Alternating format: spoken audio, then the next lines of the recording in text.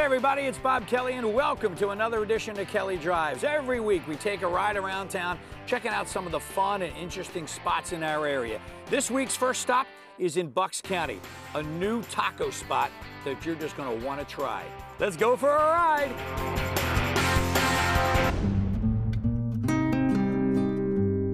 The hottest craze is tacos, and the newest place, Bomba Taco and Bar.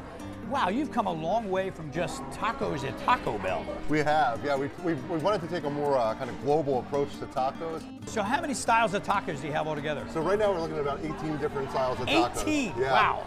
So So let's have get down the line. What do you have? We have our Baja shrimp taco. So you have some Baja shrimp, uh, roasted garlic pasilla some of that fresh mango salsa, a little bit of cilantro right on top as well.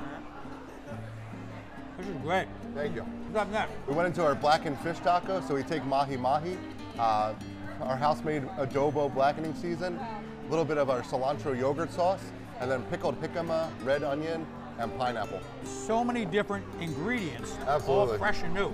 All fresh and new. What's the third one? We put Brussels sprouts on a taco, if you can believe that.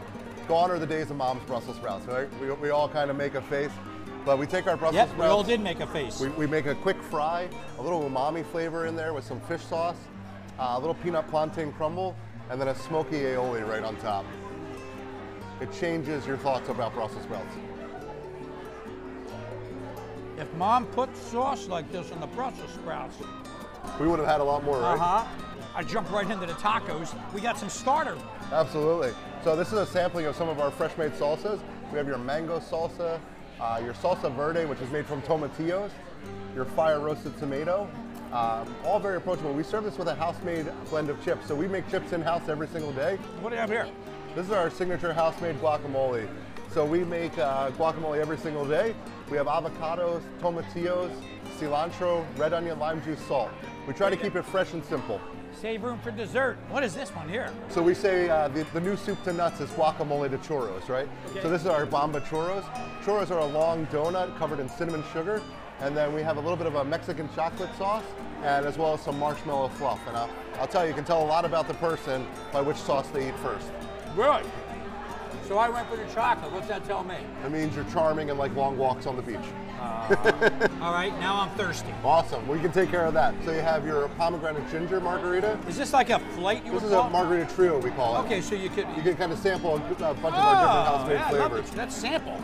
our charred pineapple. We're taking fresh pineapple, cutting it down, putting it on the grill until the sugar caramelizes. and then we- Charred Charred pineapple. pineapple. Delicious.